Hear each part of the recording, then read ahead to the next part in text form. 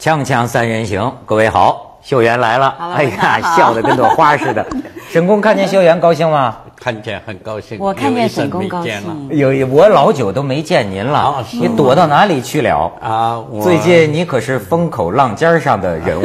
听说我们我们文化界的大事就读书杂志换主编啊，我怎可听人说您是幕后黑手啊？没，是不是您真的那跟那个黑手有关系？您的确是有影响跟黑心有关系。嗯，那黑手嘛远一点我我还没有到这个程度，可是心确实是黑的，所以听说换主编了，我表示拥护，那是 你表示拥护。哎，我的心。流露出来了，黑手 实在是，我非常希望有黑手，可是只有黑心，还没有黑手。这话说的很深呐，很深啊，还是别聊这个了。对，不过大家都觉得沈公其实，哎，真的这个，不管他任何年纪的时候，他都是叱咤风云啊，现在也不寂寞啊。哎，没错，沈沈公，你要说现在，我跟您讲点您爱聊的，人家说他是这个不良老年呐，所以今天呢。为什么说您是不良老年？不良啊！凡是老年不不大该做的事情，我都喜欢做。像是临老入花丛这种事。哎，哎呦，挺年轻，会是临老入花丛。说的很对。真的吗？老年人不该谈那个黄昏之恋的事情，所谓 sex 的事情。我特别爱谈，嗯，我跟窦文涛都谈。对呀，哎呀，你们俩是这样的哥们。对，我们俩是老少入花丛啊。但是啊，你说食色二欲嘛，对吧？其实能够追求色呀，这个生活说明过得还不错。嗯，有些连食的问题都难呐。你要知道，最近香港出了一个七十多岁的有名的香港老头，又又又出名了，一老翁。嗯，法院判了。但是法官呢，也是一片是一片慈善之心，就说这老人呐，真是不容易。说你要有困难，你找政府，对吧？你不要去打劫。然后打劫啊！他今年一月份，七十多岁的老人，拿把水果刀，跑到便利店，跟那个店员，那店员说：“老人家，你干什么呀？报警啊！报警啊！这报警啊！报警啊！我打劫呀！赶快报警啊！报警！”然后催着店员报警，这店员只好报警。最后警察来。后来老头说呢，我没饭吃了。嗯，我领中原的，后来中原好像给停了。我没饭吃，所以我打劫。我监狱里一天管三顿饭，我上监狱吃饭去。他实际是想进养老院。嗯，哎，我最近对这个养老院呢有一些这个思考，看的我也挺心酸的。最近有一个日本 NHK 电视台拍的一个纪录片三集，叫《激流中国》。我跟你说，日本人拍中国题材这个纪录片拍的非常好。其中有一集就是讲现在青岛啊建这个养老院，也花几个亿啊建养老院。他就说，因为中国社会啊现在变化太快了，过去中国人有这个赡养老人、子女和老人一起住的这个习惯，是。但是现在这个社会的变形啊，使得很多孩子出于各种原因不得不把老人送去养老院。我给你看那么两段，咱们日本 NHK 电视台这个好好纪录片。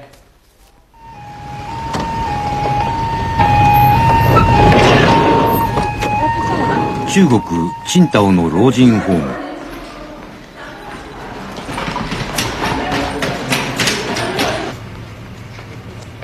83歳の男性が部屋で倒れているのが見つかりました。心臓発作です。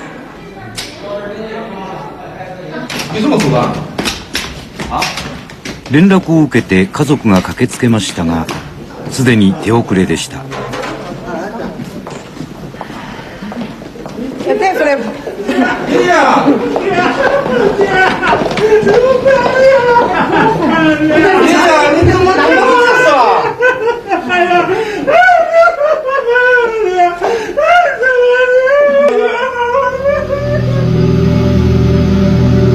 この男性は子供たちの勧めで3年前老人ホームに入居しました家族に見取られることのない最後でした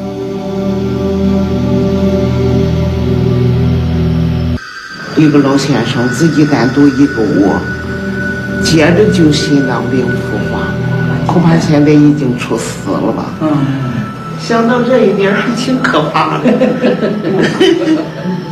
嗯，人一个过这一关，就感觉这样的急性的死了倒好，子女当时觉得难过一阵子，但是没有什么累赘，哪也不能去了，就待着吧。我就说到老家了，光等着呃哪会儿这个钟快走了吧。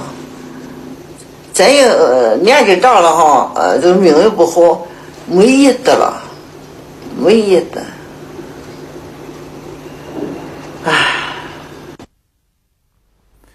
你像我看到这个啊，你像我们可能年龄不同，沈工哈，这感受，你比如我看这个，我就会想起我的父母亲，就说是吧？你看到爸爸妈妈垂垂老矣的时候，你那个心呐，真的揪着。可是现在，刚刚文涛也讲到一个的确很大的问题，就是大家的生活作息已经不是一个步调了，然后接触的外面所有的资讯也不是一个步调。你像这养老院院长就说，早几年的时候，谁家把老人送养老院？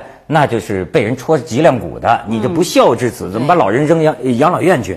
他说：“但是这几年呢，人们的观念就改变了，越来越多的好像出于种种原因。但是你像这里头有一对老人还说，你这世界上还有这么不孝的孩子？我就是还说，说我们为什么到养老院呢？我们那孩子叫啃老族，嗯，把我们存的钱全花光了，把我们住的房子他也给占了。”最后嫌我我们俩影响他的生活了，于是说爸爸妈妈，我把你们送养老院去吧。嗯，就这种，沈工，你你你你身边是不是也有这种现象？你的朋友？当然也有了。我特别注意到的是，我自己已经要进到这个境境地上去了。我今年七十六了。嗯，哎，你可真像不像七十六啊？你像五十六，对。哪里？我现在尽力要做到的。我觉得就我们老人来说啊，有一条也是可以做到的。我现在尽力的，我们要熟悉年轻人的那一套东西，他们的词儿，他们的思想，我都要都都要学习吧。说是，你觉得这样可以防老吗？那当然不是养儿防老，现在信息防老。那当然可以喽。这个这样，我也跟孙子讲话的时候，可以说说什么 PK 什么啦，谁忽悠什么啦，他们讲的我也能听得懂啦。但是我我想好奇的请教您一下，您有没有自己想说，有一天我自己要去住这些所谓的安安养中心、老人院，因为我怕。给我的孩子们造成困扰，像我的父母就会这样。可是爸爸妈妈其实他们的心里不愿意离开你的，可是他也觉得我要体体谅你，我故意要要不跟你住。对，这种老人也是，而且呢，他很多，你比如说一个老人，你想象到没有？他将要进养老院的时候，他的那个心情啊，挣扎，其不是，其实像个孩子一样。对他来讲，就像咱们开学，到去一个新的地方。然后呢，集体的伙食，集体吃饭，就你吃的东西，你也不知道。哎，我发现老人呐，他倒不是讲穿讲住，嗯，他很多时候我听我爸爸妈妈说，换个生活地方，主要是讲，哎呀，那儿吃不吃得惯。嗯，沈工，你觉得老年人的这个饮食习惯吃有什么特点？老年人是越来越固执了。比如说我吧，我现在就想吃我小的时候吃过的东西。啊，回去了！哎呀，老小老小嘛。哎，我在北京待了五六十年了，可是现在北京的东西也不习惯了。我回到我的江南的地方了。嗯，我最发愁的这个北京现在是有一条是很悲哀的事情了。我这个宁波人出身的。北京几乎没有一家宁波饭馆了，找不到宁波年糕 最多有上海饭馆，没有宁波饭馆。那您怎么不？您好像是很少在家吃饭吗？啊，对对对。为什么？那所以呢，我当然了，我现在嘛也一个特殊情况了。我尽管七十六，我特别不愿意在公共汽车上人家跟我让座。啊！我想你怎么能看得出我七十六？我说我不三十六吗？对对对，所以为了为了老人的心理，我们以后不应该给老人让座。锵锵三人行，广告之后见。你像最近呢，也有说这个养老院有那种非法养老院，嗯，到现在啊，这个新闻没有再见到更新的东西，所以你也不知道它到底是真是假。嗯，但是呢，这个报纸上曾经登过这么一个版的，网上有这么一版的照片，嗯，这一天也待不下去了，就说一个在一个非法养老院里工作的人，嗯，看见这个养老院这么虐待老人，你看那照片，把老人绑在床上，嗯，把老人绑在马桶上，他就最后他不干了，他说良心不安。当然，这个事情据说是正在调查。就是说呀，你比如说这个老人他去了这个养老院之后啊，我就觉得他，咱们想的啊，主要是心情上会不会有一种被离弃、被遗弃的这种感觉呢？我也说实话，我对刚才这个，呃，安养院、老人院，呃，我有一点想法啊。您说我觉得不能够全说成是不好的虐待呀什么啊。嗯，这个老人到了一定的时候，假如没有完全失去自己的主知觉了，真的是有一点儿麻烦古怪，有点麻烦。所以我最近我有一个朋友也是医务界的朋友，他最近在忙着呼吁这个，我都很赞成呼吁安乐死。啊，我觉得到中国是可以考虑，当然非常不适合中国国情了。嗯，特别到了那是，可是呢，就像我这样的处境来说呢，嗯，我想到了一干到了一个时候。我已经，我的行为已经变成一个很累赘的那个时候，变成人家的累赘的时候啊，啊，这个我倒觉得这是一种考虑。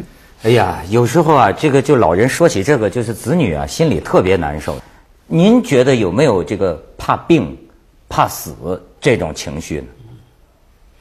那当然有喽，所以呢，像我这样还可以活动的时候，我是现在尽量享受人生呢。啊，这个我是享受人生到了。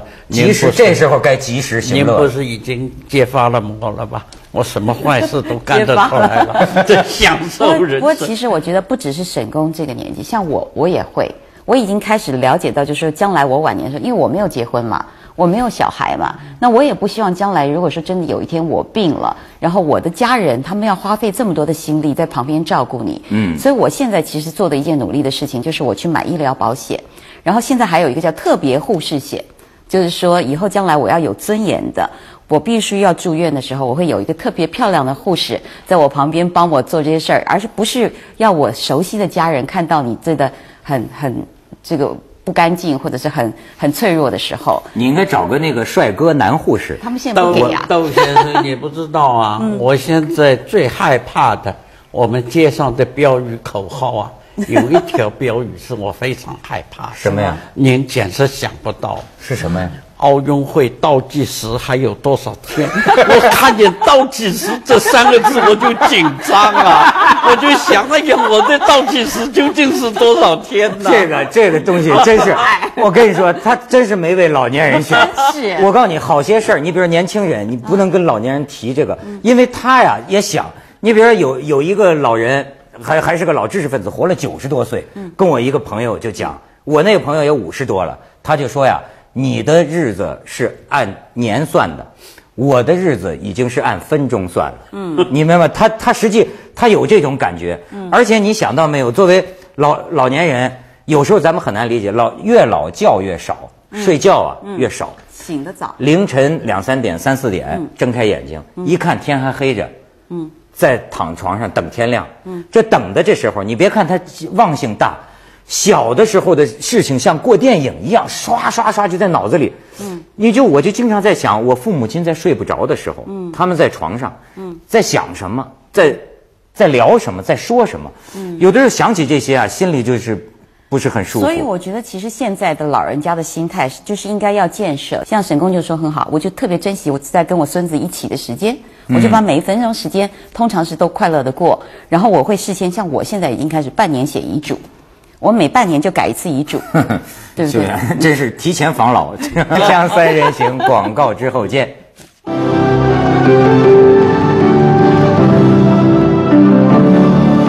现现在很多，要不说中国社会转型啊，好多问题。比如一个老太太，那看看上去挺有文化的老太太，她养了三个孩子，本来她愿意跟孩子住一起，可是呢。儿子在北京开公司，嗯，那就不可能了，嗯。那么女儿这边呢？女儿和呃女呃女女婿对都特别忙，而且也有他们的家庭负担。实际上跟老年人真住在一起，反倒给老年的心理啊添加很多不愉快。所以在这种两难的心境下，女儿给老人找养老院送。哎呀，我就觉得最后啊，这个女儿把老人送到养老院离开的那一幕，看得我们也是很有感触。我们再看一下。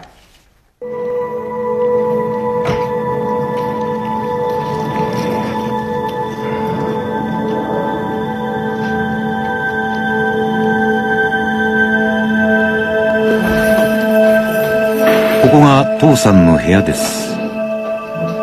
置かれているのは備え付けのベッドとテレビだけです。那那我要回去了啊！然后哎，好，我走了。你你小心的，自己多在意着这一天。嗯嗯。过了希望你到这儿来了之后，哎，我都亏了你了，我现在得了你的计了，我的好闺女。妈妈一定要好好的。嗯嗯。我就是为了你们鼓舞，我才这么坚强。好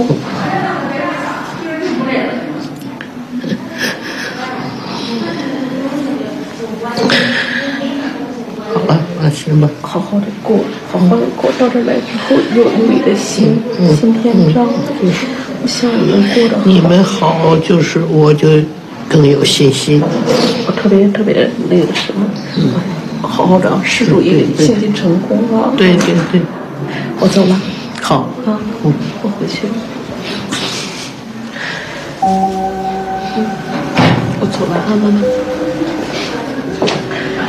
秀媛，秀媛，真是万爱看的都哭了。嗯，看见你，你你你是看见刚才那老太太跟女儿抱在一起，哎呀，真是。我想到我爸爸跟我妈妈。你你爸爸妈妈怎么了？不是，我想到。如果在我爸爸已经过世了，但是我妈妈现在很好。可是有一天，如果真的他要是离开我，我也会难过。哎，这怎么说呢？我觉得这个父母亲呐，老是为什么引起我们的这种感情啊，都是 特别难过的。我我我我舍不得啦。其实人就是这样。我觉得很多的时候，就是你其实并不是说你怕死，因为你不知道死是怎么回事儿。那你也不是说怕一些病痛，因为病痛其实刀割一下也就过了。它是那种情感上的舍不得。我就是要离开你了，我舍不得，我不能离开你。我觉得那个情是最重要的。而且就老觉得吧，你怎么着都算不孝的，就是因为我们的父母这一辈儿，他的这个。他他们的这种传统啊，他是一辈子不要他自己的生活的，一辈子都放在你身上。你现在你怎么说，你都觉得你自私。嗯，你你你能回家去看多多看一次，你会回去吗？对吧？你能多打一个电话，你多打了吗？你知道，你你你玩这个，就作为年轻人来讲，好像老是心里很。而且现在连讲话都没耐心，我就觉得，哎，现在这些孩子真是该打。就老人来说呢，像我们这种心态。当给成为孩子的负担了以后，而又不能安乐死呢，还是去养老院好？哦，你倒是同 觉得，我们觉得去养老院好像很凄凉的感觉。那我这样，那你何必呢？你已经对孩子毫无主意了，你对他已经丝毫起不到任何作用了。比如说，我现在，但这个时候是不是你需要孩子来帮你的时候呢？那个不是请养老院的护工帮也挺好嘛。因为文涛你就知道那个沈工，这就是爸爸妈妈的心态，他就是不要成为你的负担，所以即使他心里很需要儿女，但是他也会把儿女的利益放在第一优先。为了孩子，为了孙子，为了下一代，我可以做任何的牺牲。我一辈子都这样过来了，我还何必在乎这短短几年？为了下一代，嗯，与其说下一代，还不如说。让下一代更好的去照顾更下的一代，这是父母的最大愿望。我是觉得，两全哈。我觉得 咱们咱们这这个父母亲这一辈儿啊，真是牺牲伟大。我有时候想起来，就老觉得这牺不是这种牺牲到底对不对、好不好，我还不知道。可是我觉得，就是一代人的牺，你好像我我我我我现在觉得我可以以自我为中心了。我到老了也可以像学习沈工，我有我自己的生活，是吧？我我这辈子不不不不不缺什么，就过得很满意。可是我老想起你说父母亲。有时候你说咱们在外边吃点什么好的，你就想，哎呦，他们一辈子也没吃过这么大鱼大肉的东西。你就觉得一辈子就这样含辛茹苦的把把孩子抚养成人，太亏了吧？我我为什么想到父母老觉得心酸？就是因为按我的标准看，我老觉得就是这一代人太牺牲太大了。所以我觉得，就是老年人来想到，最主要想到下一代以及更下一代。假如我临终的时候，我能够听到我的第三代考取了清华大学，那我就安然而去。我觉得对我照顾的很周到，这不必要亲自到床上来。他能照顾第三代，能够让他功课个能够呃去到名校去念书。就是这真是就所以天下父母心呐，这父母心的爸爸妈妈都这样，真是。所以啊，我就说，咱们可以看看这段片子的结尾，也是让人感觉意味深长。我们来看一下。明天怎么样？不知道，没有预料过，想不到这些，这个这个，呃，形势发展的快。再就是这些年的变化，也是中国社会几千年都没有这么大的变化，就在这几十年里头实现了。也是没想过，现在老了什么样？我说我们这一代吧，就是，嗯，创造了中国老龄社会的这个创造经验的一个，什么事自己都经历一下。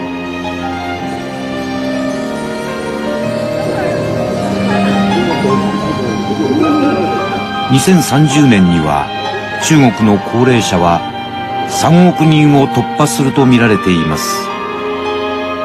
人類史上稀に見るスピードで高齢化は進んでいます。